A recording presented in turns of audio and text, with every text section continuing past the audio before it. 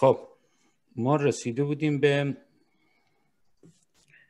یه بیتی که آره روز و شب بسیار در تب بودم. من به روز خیش امشب بودم. یعنی در محلکه زندگی خودم در سرنوشت خودم امشب کار من روزی که می پرداختند از برای این شبم می ساختند یا رب امشب را نخواهم بود نخواهد بود روز. شمع گردون را نخواهد بود سوز. یا رب این چندین علامت امشب است. یا مگر روز قیامت امشب است. یا ازا هم شمع گردون مرده شد. یا ز شرم دلبرم در پرده شد. خب این هم تجاهل العارفه هم حسن تعلیله. یعنی هم داره علت تراشی می‌کنه هم داره خودشو به جهل می‌زنه.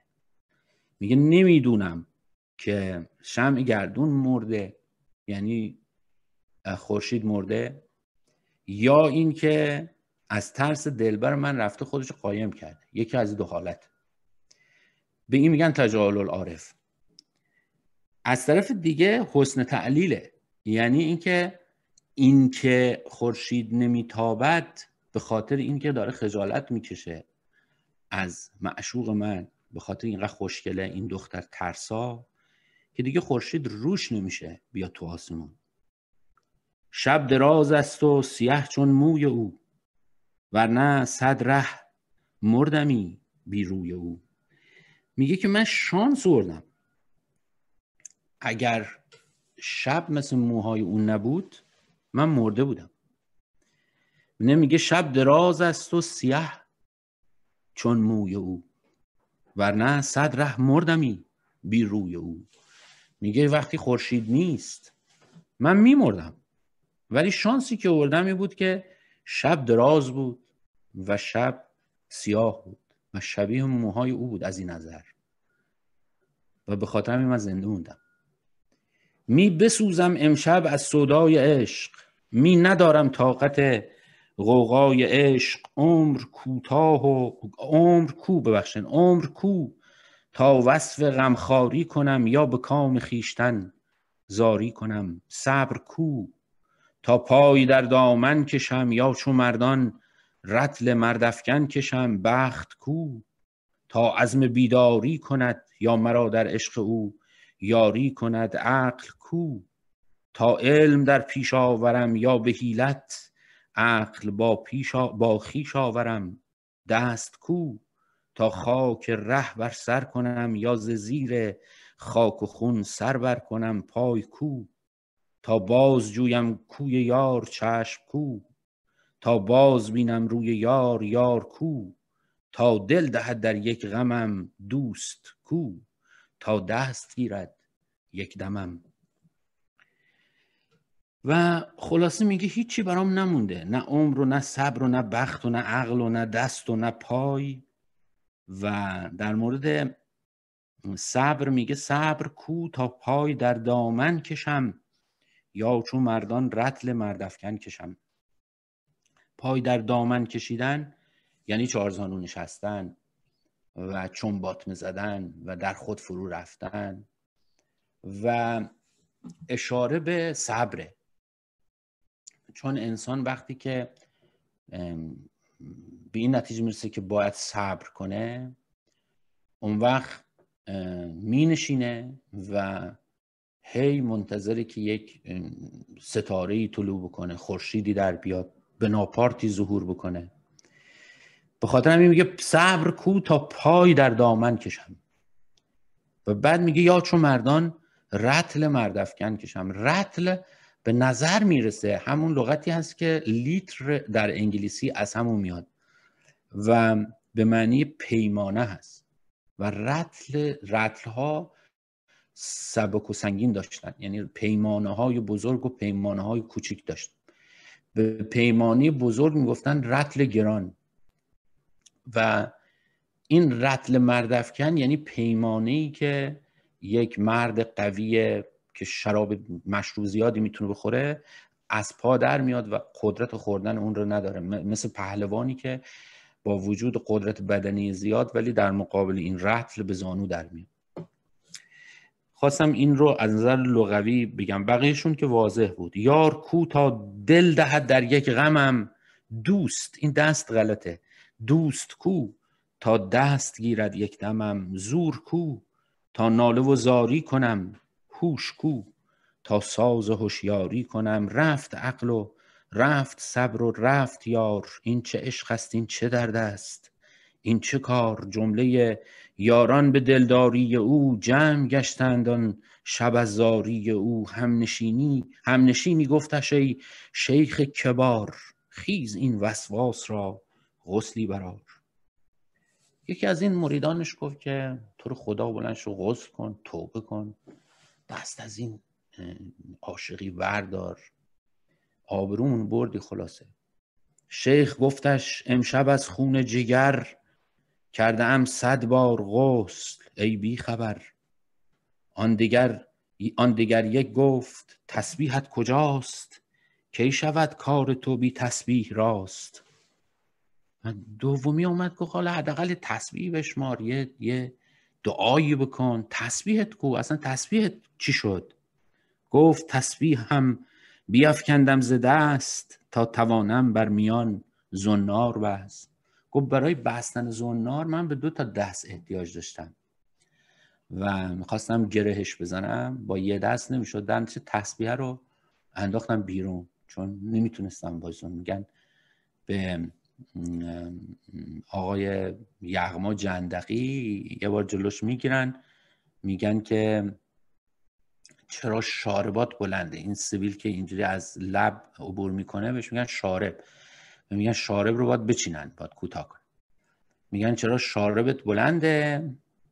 گفت به خاطری که وقتی می‌خوام مشروب بخورم می‌خوام دردش رو گیر بکنه به این صافش رو بخورم.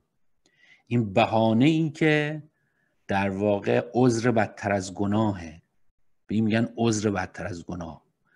اینجا عذر بدتر از گناه داره میاره آقای شیخ. میگه تسبیحت کو. می می‌خواستم زنار ببندم. به دوتا دستم احتیاج داشتم. در نتیجه تسبیح رو انداختم بیرون. میگه گفت تسبیح هم بیافکندم ز دست تا توانم بر میان زنار بست. آن دیگر یک گفت ای پیر کهون گر خطایی رفت بر تو توبه کن. گفت کردم توبه از ناموس و حال. تایبم از شیخی و از قیل و قال. و گفت بله من توبه کردم ولی توبه از ناموس کردم توبه از شیخ, شیخ بودن کردم. به قول سعدی میگه بس توبه و پرهیزم که از عشق تو باطل شد من بعد بران شرطم که از توبه بپرهیزم. میگه پرهیز من از عشق تو باطل شد. من دیگه از این به بعد از توبه میپرهیزم. من بعد بر بران شرطم که از توبه بپرهیزم. آن دیگر یک گفت ای دانای راز خیز خود را جمع کن اندر نماز. او یکی مریده گفت بلنش نمازی بخون. این مسئله از سرت میره. گفت کو محراب روی آن نگار. نباشد جز نمازم هیچ کار. و اینجا یه مقداری مثل سراب سپری فکر می‌کرد که میگه چی؟ قبله هم یک گل سرخ می‌رود کوی به کوی می‌رود باغ به باغ. من نمازم را وقتی می‌خوانم که ازانش را باد گفته باشد سر گل دسته سرو پی تحریم تلکرام علف می‌خوانم پی قد قامت یادم رفته. منظورم این این نمازی که قبله ای ندارم که نماز قبلش بیار اون دختر قبله منه. گفت کو محراب روی آن نگار تا نباشد جز نمازم هیچ کار. آن دیگر یک گفت تا کی زین سخن؟ خیز در خلوت خدا را سجده کن. گفت اگر بت روی من اینجاستی سجده پیش روی او زیباستی. آن دیگر گفتش پشیمانیت نیست. یک نفس درد مسلمانیت نیست. گفت کس نبود پشیمان بیش از این. تا چرا عاشق نبودم پیش از این؟ گفت چرا پشیمونم؟ و پشیمونیم از اینه که چرا تا حالا عاشق نشدم؟ به قول سعدی میگه هرچه گفتیم جز حکایت دوست در همه عمر از آن پشیمانیم. سعدی ما پشیمانیم از اینی که یه چیزای غیر از حکایت دوست گفتم. گفت کس نبود پشیمان بیش از این تا چرا عاشق نبودم بیش از این. آن دیگر گفتش که دیوت راه زد تیر خزلان بر دلت ناگاه زد. حالا چرا میگه خزلان؟ چون خزلان در واقع یعنی حالتی که فرد یاری نداره. فریادرسی نداره. این حالت بی فریادرسی رو بهش میگن خزلان انگار هیچ کس دیگه به سراغ او نمیاد. هیچ کس به کمک او نمیاد. و ما توی ادبیاتمون و متونمون به معنی فرد تحقیر شده و حقارت و تحقیر از خزلان یاد می‌کنیم. ولی در اصل لغت که نگاه بکنید به معنی این بیاوری است. و ببینید این یارانش همه دارن میکوشن که شیخ رو از این مسیری که رفته دور کنن و یک جوری علاجش کنن. ولی اون به خاطر خزلان یعنی به خاطر اینکه هیچ یاوری فی نداره و هیچ کسی نمی‌تونه او رو یاوری بکنه حرفای اینها رو اصلا نمیشنوه و گوش نمیده. بنابراین میگه که گفت آن دیگر گفتش که دیوت راه زد تیر خزلان بر دلت ناگاه زد. یعنی جوری شدی که دیگه ما نمی‌تونیم به تو کمک کنیم. گفت اگر گفت گر دیوی که راه هم می‌زند گو بزن چون چست و زیبا می‌زند. آن دیگر گفتش که هر, هر کاگاه شد گوید این پیر این چونین گمراه شد. گفت من بس فارغم از ناموننگ. شیشه سالوس بشکستم به سنگ حتی بهش گفتن که خب آدما نمیگن این پیر چرا این چنین شد. آدما پسترت نمیگن این مرد که پیرمرد رفت بعد از این همه عبادت و فلان عاشق دختری شد تو یه ایوون از راه دور. اینجوری عاشق چه معنی میداخه گفت بس من بس فارغم از نامونک نامونک یعنی شهرت طلبی. شیشه سالوس بشکستم به سنگ. می‌دونن انسان با دلش نمی‌تونه منافق باشه.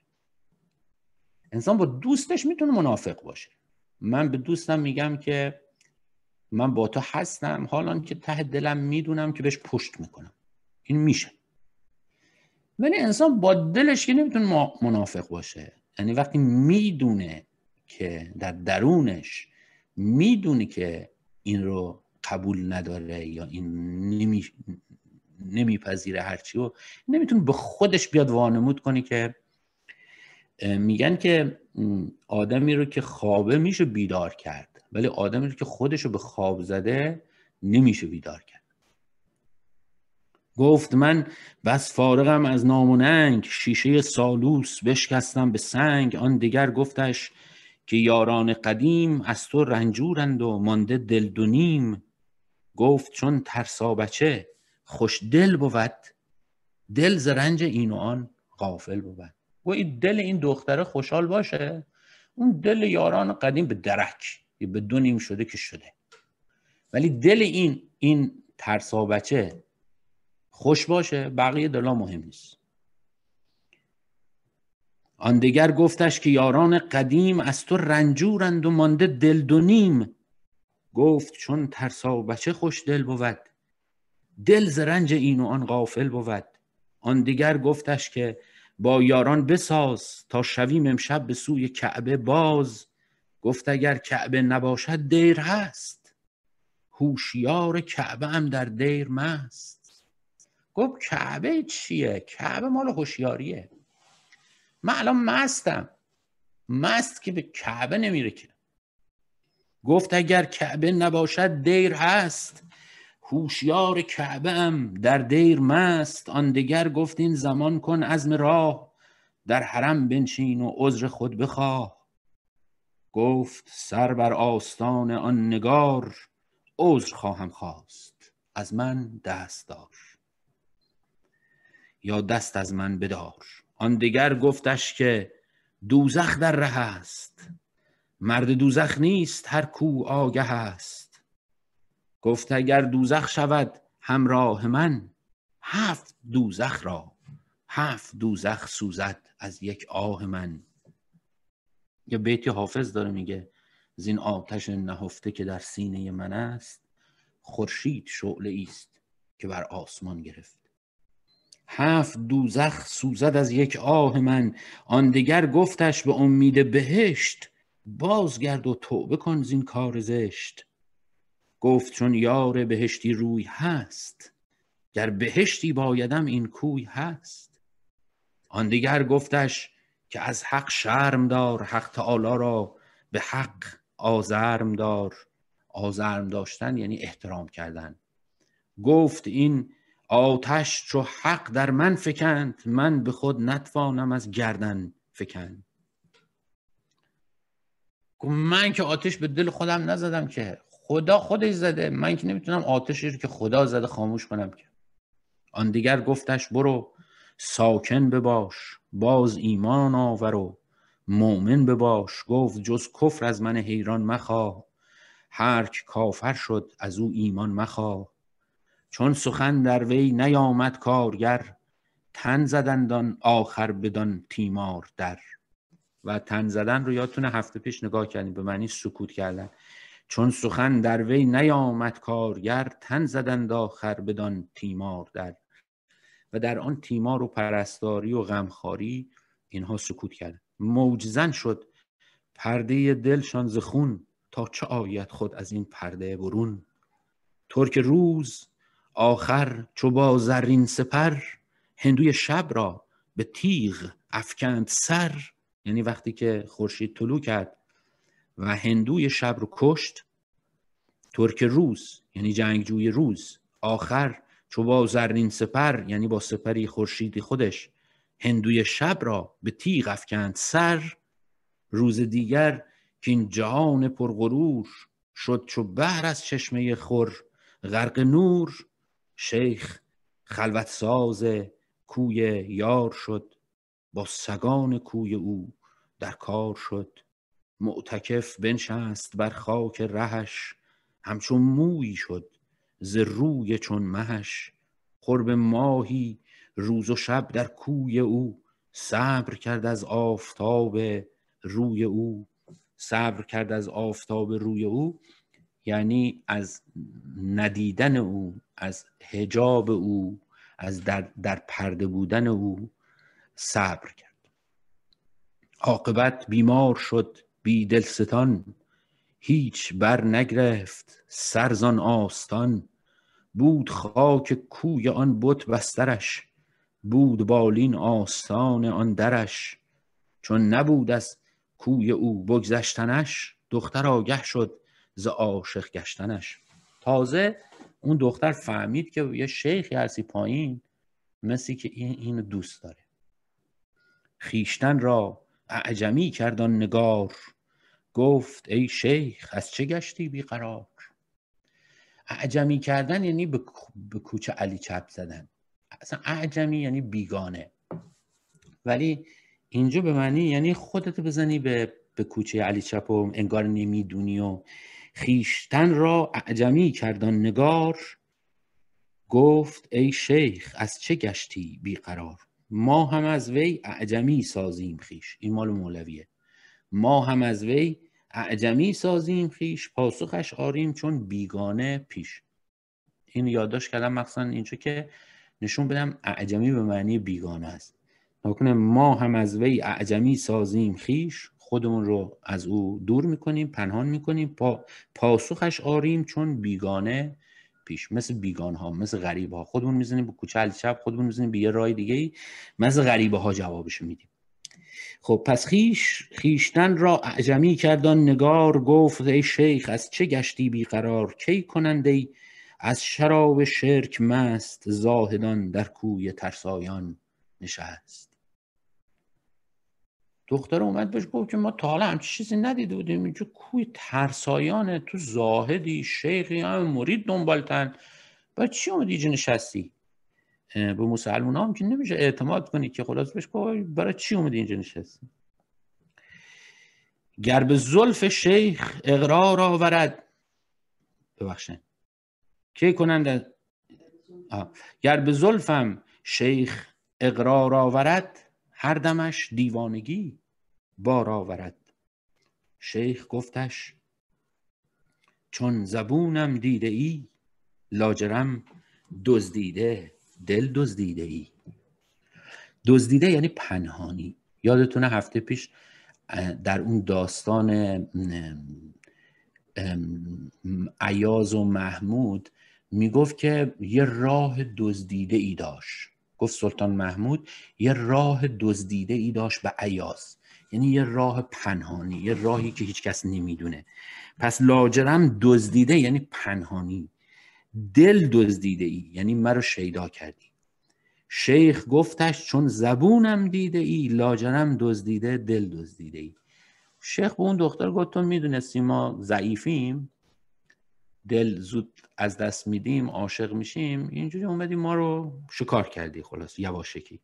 یا دلم ده باز یا با من بساز. در نیاز من نگر چندین مناز از سر ناز و تکبر درگذر. عاشق و پیر و غریبم در نگر.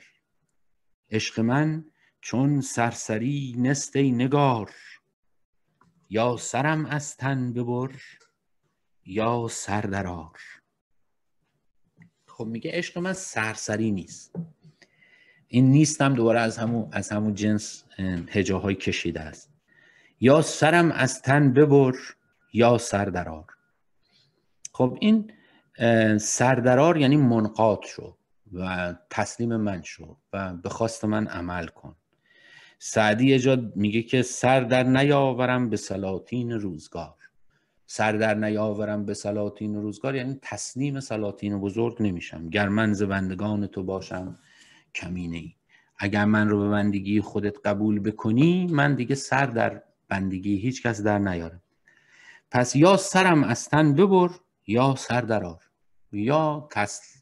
سر من ببر من بکش یا تسلیم شد جان فشانم بر تو گر فرمان دهی گر تو خواهی بازم از لب جان دهی خب گر تو خواهی بازم از لب جان بدی جان دهی در واقع دلیلی میاره بر اینکه من می‌توانم جان فشانم. ما در چه صورت می‌تونیم جان فشانی کنیم؟ در صورتی که بپذیریم که جانی دیگر می به دست میاریم. ما جان فشانی می‌کنیم به خاطر که نام نیک رو جان فشانم بر تو گر فرماندهی. گر تو خواهی بازم از لب جان دهی. گفت که این مشکلی نیست چون که تو اگر قبول بکنی این رو دوباره می‌تونی با لبات به من جان بدی. ای لب و زلفت زیان و سود من. روی و کویت مقصد و مقصود من. این گر تو خواهی بازم از لب جان دهی. من معتقدم که به حافظ یه تاثیر بسیار بسیار وسیعی از داستان شیخ سنان گرفته و به یه شکل خاصی هم تاثیر گرفته که در پایان همین مطلب یه مقاله دارم در رابطه اون رو اینجا می‌خونم براتون و راجبش صحبت می‌کنم راجب تاثیر حافظ از این داستان. ولی مثلا شما نکنین حافظ یه جا میگه گرچه پیرم تو شبی تنگ در آغوشم گیر. تا سهرگه ز کنار تو جوان برخیزم. یعنی انگار که میگه من میمیرم می‌تونم بمیرم چون میتون تو من رو زنده می‌کنی. تا کنه میگه جان فشانم بر تو گر فرمان دهی گر تو خواهی بازم از لب جان دهی. یعنی آغوش تو من رو زنده می‌کنه. ای لب و زلفت زیان و سود من روی و کویت مقصد و مقصود من. گهز تاب زلف در تابم گر گهز تاب زلف در تابم مکن گهز چشم مست در خوابم مکن. ببخشن من حالا قطع می‌کنم. اندیشه و فکر حافظ ذهن من رو آزاد نمی‌ذاره من می‌خوام این نکته رو بهتون بگم که می‌دونن حافظی که از کارهایی که می‌کرده در زندگی بوده که کتاب مینوشته. احتمالا پول می‌گرفته و کتابت می‌کرد. و خوشبختانه دستخطش موجود هست. اتفاقا همین هفته پیش به راهنمایی جواد من به یک کلیل و دمنه ای از حافظ دست پیدا کردم و دستخط حافظ رو دیدم. و از جمله باز در تاجیک در تاشکند یه نسخه چیز هست یه نسخه ارز به خدمتون خمسه امیر خسرو دهلوی هست که این رو حافظ نوشته. و یکی از کتب داخلی خمسه رو حافظ ننوشته بقیه رو حافظ نوشته. و اختلاف ختم قشن معلومه که اون رو اونا رو حافظ نوشته این رو حافظ ننوشته. و تای همشون حافظ امضا کرده. یعنی محمد ابن محمد ابن شمسدین معروف به حافظ شیرازی. یعنی امضا کرده اینا. یعنی منظورم اینه که شغل حافظ اصلا یکی از شغلاش این بوده که می نوشته یعنی ببین آدمی که کتاب می نویسه خط خط خط و جمله جمله جمله در واقع داره روی کلمات جلو میره روی کتاب ها جلو میره و خیلی تاثیر میپذیره از ابیات چنین آدمی تا تا آدمی که همینجوری داره می‌خونه و مثلا یه, یه چیزی رو میره جلو. و اینم مخصوصا گفتم که جواد که میگه که از دوره مادها information داره که بدونه نه من information هم update میشه از جمله خودش update هم کرده. اما میگه که بی تو من دل چو آتش گه ز تاب زلف در تابم مکن گه ز چشم مست در خوابم مکن. دل چو آتش دیده چون ابر از تو هم بی کس و بی یار و بی صبر از تو هم بی تو من جان و جهان بفروختم. کیسه بین که از عشق تو بردوختم. این اصطلاحی که هنوز هم به کار می‌بریم. دیدیم میگن میگیم که ما برای شما کیسه ای ندوختیم. دیدین هنوز میگیم مثلا. مثلا یه نفر ممکنه ما رو متهم بکنی که شما می‌خوای مثلا خون زندگی من بالا بکشی. من میگم آقا من برای شما کیسه ای ندوختم. یعنی طمعی در مال شما ندارم. ببینه میگه بی تو من جان و جهان بفروختم. کیسه بین که از عشق تو بردوختم. یعنی من طمع دارم به عشق تو. من کیسه ها دوختم برای عشق تو. من جانم رو از دست دادم جهان رو به باد دادم جهان زیست جهان خودم رو نابود کردم. کیسه دوختم برای عشق تو. همچو باران اشک میبارم ز چشم زان که بی تو چشم این دارم ز چشم. میگه می‌دونی من آدم از چشمش چه چشم داره؟ چشم داشتن یعنی توقع داشتن. ما از چشممون چشم داریم که ببینه. از چشممون چشم داریم که خطر رو به ما متذکر بشه. میگه من بی تو از چشمم اشک چشم دارم. نکنن میگه همچو باران اشک میبارم ز چشم. زان که بی تو چشم این دارم ز چشم. من بدون تو فقط توقعی که از چشمم دارم این که گریه کنه. البته این توقع بزرگیه. من مادر بزرگم 6 تا بچه ازش مرده بودن. مادر مادرم. و البته کور شده بود. ولی می‌گفت که من دیگه عشق نداشتم. و این که توقع عشق داشتن از چش توقع کمی نیست توقع بالایی است. میگه همچو باران اشک میبارم ز چشم زان که بی تو چشم این دارم ز چشم. دل ز دست دیده در ماتم بماند دیده رویت دید و دل در غم بماند. آنچ من از دیده دیدم کس ندید وانچ من از دل کشیدم کس ندید. بابا تاهر یه جا میگه ز دست دیده و دل هر دو فریاد که هرچه دیده بیند دل کند یاد. بسازم خنجری نیشش ز فولاد زنم بر دیده تا دل گردد آزاد. تو فهم کلاسیک ما از عشق این هست که عاشقی با دیدن شروع میشه و دیدن هست که عامل عاشقی است. ما اول می‌بینیم و دل میبازیم و عاشقی از دیدن شروع میشه. ز دست دیده و دل هر دو فریاد که هرچه دیده بیند دل کند یاد. اگر به خاطر همین ریاضت یه خورده معنی داره به خاطری که می‌خواد جلوی اون لحظه نخست رو بگیره. یه کاری کنی که ما نبی... نبینیم. چون به محضی که ببینیم ماجرای عاشقی شروع میشه. و معروف هست که یک نفر فکر کنم تو شعر سعدی هست که یک نفر در خواب شیطون رو می‌بینه.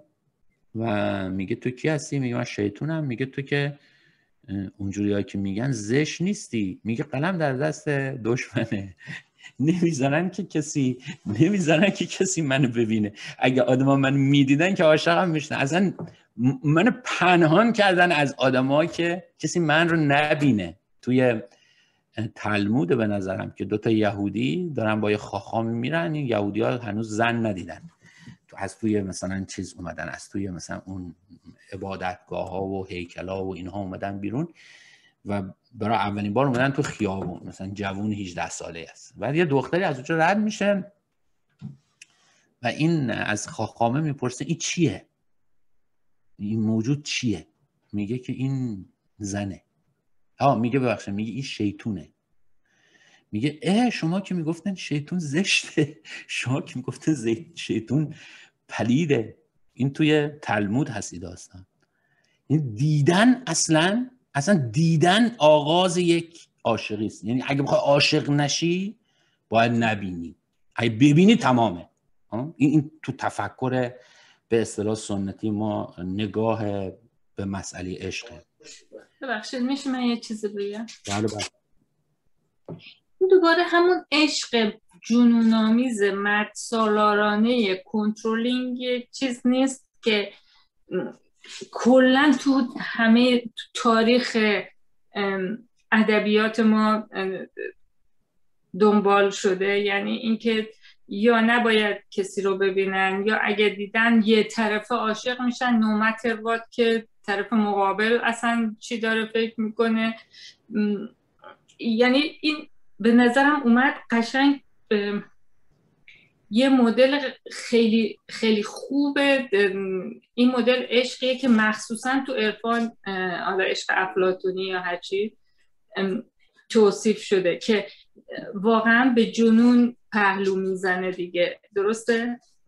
آره ولی خب شکل دیگه. اولا که در مورد ادبیات ما فقط نیست. در مورد در همه ادبیات ها چنین هست. توی بسیار نگاه کلاسیک اینجوری هست. بعد از اونم می‌دونن تو فر... این مسئله آمیختن عشق و ازدواج یک مسئله جدیده یک مسئله مدرنه. ما امروزه هست که تحت تاثیر نگاه مدرنیستی فکر می‌کنیم که عشق و ازدواج یه نسبت با هم یه نسبت کمابیش معنیداری دارن. حالا درست هر عشقی منتهی به ازدواج نمیشه هر ازدواجی هم منتهی به عشق نمیشه. ولی اینها با هم یه نسبت معنیداری دارن. ولی در فهم کلاسیک اصلا چنین نیست. اصلا اینجوری نیست که عشق و ازدواج با هم دیگه نسبت معنی من منظورم اصلا این نیست. توی فهم کلاسیک یه زنی این مدلی عاشق نمیشه.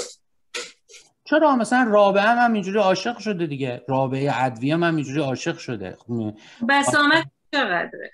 بسامدش کمه ولی مثلا به خاطری که بسامد حضور زن کمه. ببینید مثلا شیرین توی مجموعه خسرو شیرین که عاشقیش کمتر از این نیست یعنی عاشقی بسیار بسیار عمیق و شدیدیه. یا لیلی تو مجموعه لیلی مجنون یا عاشقی بسیار شدیدی داره یعنی تو حتی ازدواج می‌کنه با یک مردی که نمی‌خواد و با اون مرد نمیخوابه و تن نمیده به اون مرد و در این راه کشته میشه. و تو رابطش با با مجنون. یعنی منظورم اینه که این که بسامدش کمه به خاطری که بسامد حضور زن کمه نه به خاطری که عشق در مورد زن کار می‌کنه یا نمی‌کنه. می‌دونن؟ اصلا مسئله عشق از مسئله امر مسائل اجتماعی جداست. مسائل اجتماعی بله مثلا ازدواج کاملا چنین مفهومی داره. مثلا اینکه این نگاه مرد سالارانه نه نگاه مرد سالارانه که همه جا هست. یعنی توی من نمی‌تونم بگم تو این قسمت بوده تو اون قسمت نبوده. تو عرفان بوده توی حماسه نبوده. تو حماسه بوده تو عرفان نبوده. تو مسئله عشق بوده تو مسئله مثلا فرض کنن ازدواج نبود. همه جا هست. ولی بحث ما بر سر به قول شما بسامد قضیه است. یعنی کجاها رنگ میبازه یا ضعیف میشه کجاها به قوت خودش باقی میمونه و با رنگامیزی شدیدتری داره دیده میشه.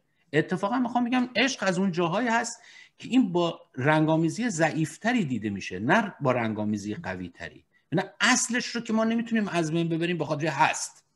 به خاطری که جامعه مرد سالارانه نگاه مرد سالانه شعر داره یه مردی میگه سوژه یه مردی هست.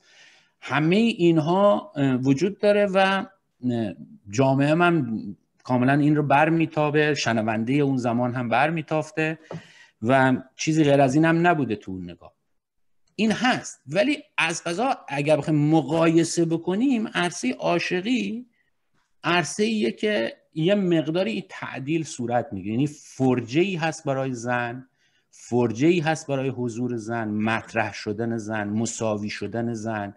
ولو اینکه این فرجه اندک باشه پنجره کوچکی باشه ولی هست. من باید موافق نیستم ولی خیلی نمی‌خوام آرگیو کنم. باش. خب حالا ببینن میگه که حالا در مورد این که عشق از دیدن شروع میشه من از قضا خودم معتقدم که عشق از دیدن شروع نمیشه شخصا. معتقدم که عشق از ندیدن شروع میشه برعکس.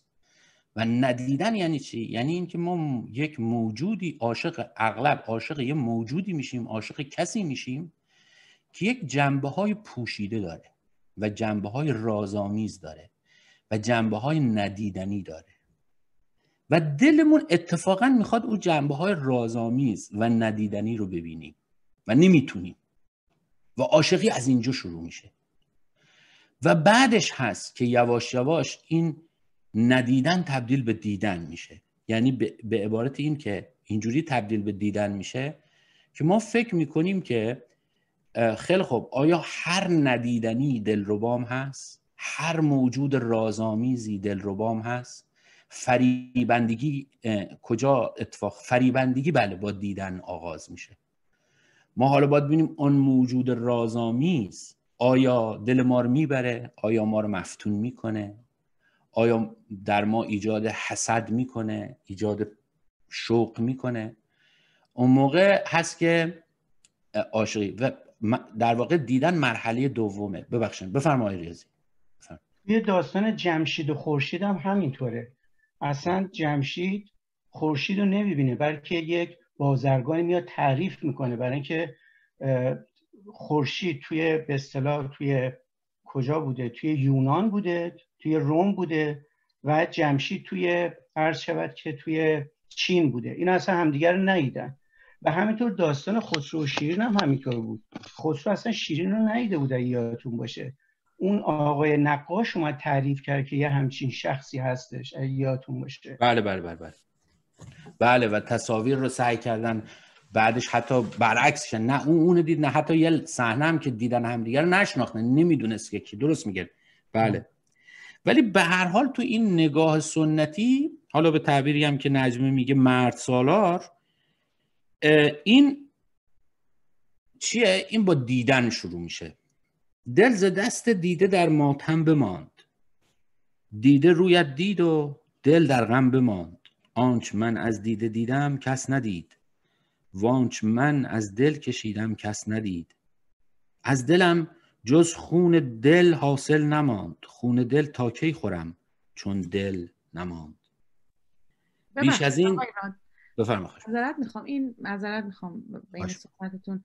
این که شما گفتین که از ندیدن عشق شروع میشه خب الان تو جنبه این در راستای این داستانی که داریم صحبت می‌کنیم پس این شیخ سنان از ندیدن یعنی اینجا چی؟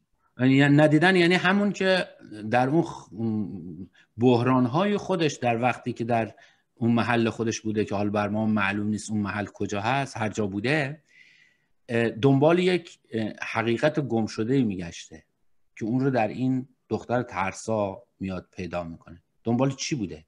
چی من منظورتون اینه که کسی که دنبال چیزی هست دنبال یه عشق درونی شاید برای خودش هست یا حالا هر چی. و این به صورت یه شخصی منفست میشه تو زندگی. بله یه دغدغه ای داره. بله. و یک خب دیدن دختر ترسا شما اینجوری فکر کنن که اینجوری بیان فکر کنن که من مهران راد 16 ساله رو حساب کنن چهار چند اولین باری که من یادم میاد رفتم تهران مثلا شاید 14 سالم بوده. فکر کنم من مهران راد 14 ساله که توی خانواده بودم که هر هفته روزه میخوندن و همه رو می‌گرفتن و همه هجاب داشتن و اینا ورم دارن ببرن توی تهرون. یا مش دختر خوشگلی هم موجود دارن تو خیابون میان و میرن. از نظر من از نظر یه بچه ای خب من عاشق میشم. من میشون نشم. و عاشق میشم. همین ندیدن اینی من چرا عاشق او میشم؟ باید ای تو توهم من وجود یعنی شیخ سنان وقتی میره تو روم و معلوم اولین دختر ترسایی که بیاد توی بالکنی عاشقش میشه. این یعنی ندیدن اتفاقا همونی که ندیده بود او برای اولین بار دید و شیفتش شد و سرنگون شد و نشست به پا نشست به زانو نشست و گفت که ما تا حالا پش خودش هم میگه میگه من پشیمانم که چرا تا به امروز عاشق نبودم. پس اینجا منظور شما از ندیدن یه نوع کم بوده شاید. ببینه حالا کم بود که من منظورم اینه که هر کسی ببینه یه مرد بله. دنیای زنان رو درک نمی‌کنه. خب این حالا کم بوده یا یه زن دنیای مرد رو ممکن درک نکنه. این کم بوده کم بود نیست که. بالاخره ما ما یک ناآشنایی هایی داریم توی دنیا. جاهایی که خاکستری هن و ما درکی ازشون نداریم. بله. اینا کم بود که نیستن. اینا در واقع رازآمیز بودن جهانه. برای منی که می‌خوام تجربه کنم و جهان رو کشف کنم. ببینم فرق حالا بذارین این رو در مورد ماجرای شیخ سنان اینجوری بگم. یکی از تفاوتهایی که دین با اسپریچوالیتی داره یعنی ریلیجن و اسپریچوالیتی یکی از تفاوتهایی که داره اینه که ریلیجن یه چیز از قبل معلومیه. یعنی همه چی توش معلومه. قانونش معلومه. اعتقادش معلومه. عرض به خدمت شما حتی دانش هایی که در دین هست معلوم و لایه تغییره. یعنی اگر صحبت از آفرینش انسانه کشفیات داروین نمی‌تونه بیاد این آفرینش دینی نگاه دین رو به به آفرینش به هم بریزه. همه چی اونجا معلوم و مقدسه. ولی اسپریچوالیتی رفتن به دنبال نامعلوم هاست. اصلا اسپریچوالیتی با سفر به وجود میاد. ما سفر می‌کنیم که معنویت رو تجربه شخصی کنیم. یعنی یه پرسش های درونی داریم. این پرسش های درونی ما به ما میگه برو سفر. ما بلند میشیم حرکت می‌کنیم برای ندیده ها اصلا فرق اسپریچوالیتی با, با دین این هست. بله. و تجربه شیخ سنان هم تجربه معنویته. تجربه اسپریچوالیتیه. پرسش های درونیه که می‌خواد بهشون پاسخ بده و پاسخ بگیره. خیلی ممنون متشکرم. خب میگه بیش از این بر جان این مسکین مزن. بر فتوح او لگت چندین مزن. شیخهای بزرگ بر فتوح لگت می‌زدن البته فتوحی که از فرد نابابی می‌رسیده به خانقاه.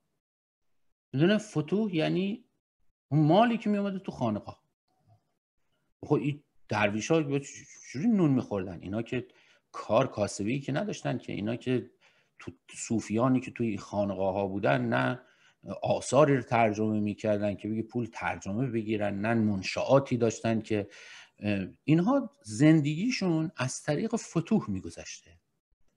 و کسانی می اومدن بر در خانقاه ها و به اینا چکار می‌کردن؟ به اینا کمک می‌کردن یه چیزی می‌دادن گفتن این نظر خانقاه هست. و شیخای بزرگ فتوح رو از طرف پادشاهان و از طرف صاحبان قدرت قبول نمی‌کردن. چون اونا طمع داشتن در مقابل این فتوح. اونا می‌خواستن این یه چیزی بدن که در ازاش این خانقاه طرفداری کنه از, از اونها. ببینن میگه بیش از این بر جان این مسکین مزن. در فتوح او لگت چندین مزن چی ما رو تحقیر می‌کنی. او بالا وای میستادی هی پیام میدی میگی برو ول کن تو شیخی با فلانی هستی. روزگار من بشد در انتظار. گر بود وصلی بیابم روزگار. گوتوری هم نیست سال روزگارم رفته. وصل باشه من اون روزگار رفته رو به دست میارم. هر شبی بر جان کمین سازی کنم. بر سر کوی تو جان بازی کنم. روی بر خاک درت جان می‌دهم جان به نرخ خاک. ارزان می‌دهم. چند نالم بر درت؟ در باز کن. یک دمم با خیشتن دمساز کن. آفتابی از تو دوری چون کنم. سایه ام بی تو صبوری چون کنم. گرچه همچون سایه ام از استراب در جهم در, رو در روزنت. چون آفتاب. گرچه همچون سایه ام از استراب در جهم در روزنت چون آفتاب. هفت گردون را در آرم زیر پر گر فرو آری بدین سرگشته سر. می‌روم با خاک یعنی با قدم های خاکی می‌روم یعنی به اوج هفت گردون می‌روم می‌روم با خاک و جانی سوخته. ذاتش جانم جهانی سوخته. پای از عشق تو در گل مانده ای دست از شوق تو بر دل مانده ای میبراید زارزویت جان ز من. چند باشی بیش از این پنهان ز من. دخترش گفته ای خرف از روزگار. ساز کافور و کفن کن. شرم دار گفت تو خجالت نمیشی که تو باید الان به فکر کفن باشی. تو باید به فکر کافور باشی. الان وقت مرگته. چون دمت سرد است دمسازی مکن. تو اصلا مرد هستی؟ چون دمت سرد است منظور همون قوه به نظرم تناسلی است یا حالا به هر حال دم سردی به معنی سردی و مزاج سرد و اینها. چون دمت سرد است دمسازی مکن پیر گشتی قصد جانبازی یا دلبازی مکن. این زمان عزم کفن کردن تو را به بود تا عزم من کردن تو را.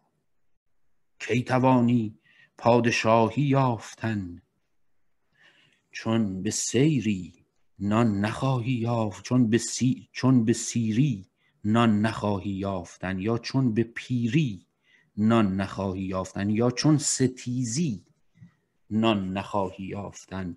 کی توانی پادشاهی یافتن چون به پیری نان نخواهی یافتن. گفت پادشاهی رو ول کن تو یه نونی می‌تونی به دست بیاری؟ شیخ گفتش گر بگویی صد هزار من ندارم جز غم عشق تو کار. عاشقی را چه جوان چه پیرمرد عشق بر هر دل که زد تأثیر کرد. حالا از غذا؟ برخلاف صحبت نجم این رو خطاب به تو میگم. برخلاف صحبت تو اینجا دختر ترسا اصلا آدم منفعلی نیست بلکه شرایط بسیار سختی رو برای برای پیر فراهم می‌کنه و اون رو مجبور به طبیعت از اینها می‌کنه و قشنگ عاملیت داره در این ماجرایی که از به بعد قرار اتفاق بیفته که الان اینجا این عاملیت رو شما می‌تونه ببینه. میگه آره اینجا قبول دارم که الان اون در واقع داره بله اون داره. کنترل اون داره می‌کنه. اون کنترل می‌کنه بعد میگه عاشقی را چه جوان تو پیرمرد. اینا رو حال شیخ داره میگه. عشق بر هر دل که زد تأثیر کرد. گفت دختر گر تو هستی مرد کار چار کارت کرد باید اختیار. بفرمانم اصلا معشوق ارزم به حضورتون که مالک عاشقه همیشه همینطور بوده. شرایط مال اوناست. الان هم همینطوره. الان همه مردا زنزری هستن به خاطر همینه دیگه. ما مالک همسرامون هستیم. عشق هم همینه. همیشه معشوق مالک سرور بر عاشق. حالا ببینید شما باز دوباره دارن قضیه رو زن و مرد می‌کنن. ولی مثلا فرض بفرمان توی چیز؟ عشق محمود و عیاز اصلا داستان زن و مرد نیست. عشقی که مولوی مثلا توی مجموعه غزلیات شمس داره راجبش صحبت می‌کنه اصلا زن و مرد نیست. یا عمده عشقی که تو ادبیات ما داره راجبش صحبت می‌کنه معشوق اصلا زن نیست. و اصلا خصوصیات زنانه هم نداره. و ادواتی که داره اتفاقا یه درصد کمی از ادبیات ما معطوف به معشوق زنه که اتفاقا خیلی هم اونا جذابن. مثل مثلا داستانهایی که تو شاهنامه هست یا داستانهایی که تو خمسه نظامی هست اینها. ولی عمده اتفاقا معاشیق شعر فارسی اصلا زن نیستن. و خصوصیات زنانه هم ندارن. ادوات زنانه هم ندارن. و به نظر من قضیه مرد و زنی نیست واقعا. یعنی عشق و ازدواج اصلا با همدیگه به حالت یک به یک ندارن تو فرهنگ قدیم ما. یعنی تو فرهنگ قدیم ما یک نفر عاشق یکیه ولی با یکی دیگه ازدواج می‌کنه. کاملا امر طبیعیه. این کاملا حتی مثلا از نظر نظامی که این همه شعر عاشقانه سروده خسرو شیرین سروده لیلی و مجنون سروده این کاملا این امر طبیعیه. یعنی تو شعرش میشه دید. یعنی خسرو عاشق شیرینه با شکر اصفهانی ازدواج می‌کنه. با مریم دختر امپراتور روم ازدواج می‌کنه. و اصلا این ازدواج هیچ ربطی به ماجرای عاشقی اون نداره. هیچ هیچ بیتی نیست که این دوتا رو به هم دیگه ربط بده یا هیچ قسمتی از داستان نیست که این دوتا رو به هم ربط بده. و این دوتا از هم جدا هستن. مسئله رابطه زن و مرد و مسئله عاشقی. ولی بله. خب میگه سجد... میگه دخ... گفت دختر گر تو هستی مرد کار چهار کارت کرد باید اختیار. گفت که شرط من اینه که تو چهار تا یکی از چهار تا رو بکن. یعنی هر چهار تا رو بکنی ببخش سجده کن پیش بت و قرآن بسوز. خمر نوش و دیده از ایمان بدوز. ببینید در مورد دید دوختن یا چشم دوختن ما امروزه وقتی میگیم به معنی خیره شدن میگیم. مثلا میگیم در سراسر طول فیلم من چشمم به پرده سینما دوخته شده بود. و این دوخته شدن به به معنی خیره شدن هست. و دوخته شدن از رو ما امروزه به کار نمی‌بریم. ما نمیگیم چشم از او دوختم. یعنی چشمم از او برداشتم. ولی این رو تو ادبیات قدیم ما به کار می‌رفته. حافظ هم به کار رفته. میگه سر و چشمی چونین دلکش تو گویی چشم از او بردوز. سر و چشمی چونین دلکش میگه میشه من چشم به اون نگاه نکنم. تو گویی چشم از او بردوز.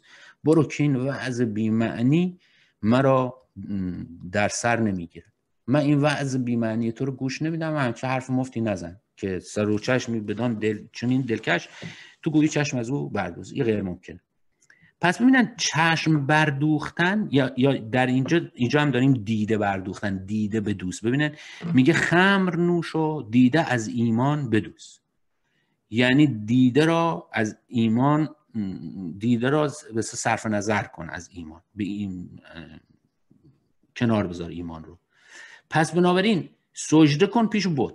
پس باید بت پرست بشی. قرآن بسوزی خمر بنوشی و دیگه ایمان رو هم بذاری کنار. حالا خود این اصولی که حالا این چیزهایی که این دختر داره میگه یه مقداری جالبه. حالا قرآن سوختنش از طرفی جالبه به خاطری که قرآن سوختن می‌دونید که یه چیزی که واقعا بین مسلمانان تابو بزرگی هست. یعنی حتی توی مثلا اون صدر اسلام هم که داشتن قرآن ها رو چیز می‌کردن قرآن ها رو داشتن اون ورق پاره ها رو جمع آوری می‌کردن و قرآن رو می‌خواستن تصحیف کنن و به صورت مصحف در بیارن. اون ورق پاره ها رو اینها حتی بیرون نمیریختن. حتی اینها رو نابود نمی‌کردن. اینا رو می‌رفتن توی دیواره های مساجد توی بنایی اونها رو کار میذاشتن. یعنی نمی‌دونستن با این قضیه چه کار کنن که حالا وقتی که یه نسخه غلطی هست اشتباهی هست حالا می‌خوان تصحیحش کنن اون اون نسخه غلطه رو حتی نمیسوختن هیچ وقت. یا بیرون نمیریختن. و هنوز هم قرآن سوختن یه تابوی خیلی بزرگه. و توی جوامع اسلامی دیدین که هر از چنگایی آدم کشته میشه سر مسئله قرآن سوزی. حالا اولا که این میگه بگه قرآن بسوز. حالا تا اینجاش ما قبول داریم. خمر نوشش هم قبول داریم. میگه خمر بنوش. ولی دیده از ایمان بدوز خب منظورش احتمالا اینه که دیده از مسلمانی بدوز. یعنی مسلمانی رو بذار کنار. ولی سجده کن پیش بتش دیگه واقعا من نمی‌فهمم منظورش چی هست. چون که شاید به خاطری که در کلیساها مجسمه های عیسی یا مجسمه مریم زیاد هست. صورت های نقاشی شده بر دیوارها زیاد هست و اینها از نظر مسلمانان مصداق بت پرستی بوده. شاید چنینه. شیخ گفتا خمر کردم اختیار با سه دیگر ندارم هیچ کار. شیخ گفت من اون ستار که شرمنده من قرآن بسوز و اینا نه ولی مشروب بدن می‌خورم. قسمت خوبش انتخاب کرد. بر جمالت خمر دانم خورد من. وانسه دیگر ندانم کرد من. گو من به سلامتی تو بر جمالت یعنی به سلامتی تو به سلامتی تو خمره رو می‌خورم. گفت دختر گر در این کاری تو چست دست باید پاکت از اسلام شست. نه اینجوری نداریم. اینو می‌خورم اونو نمی‌خورم. این کار می‌کنم اونو نمی‌کنم نداریم. و همه رو چقدر وقت داریم؟ وقت زریم میگه تمومه. گفت باید همه این کارا رو بکنی و هیچ راهی هم وجود نداره. حالا ببینیم که شیخ چی کار می‌کنه در هفته های آینده انجام میده یا نمیده.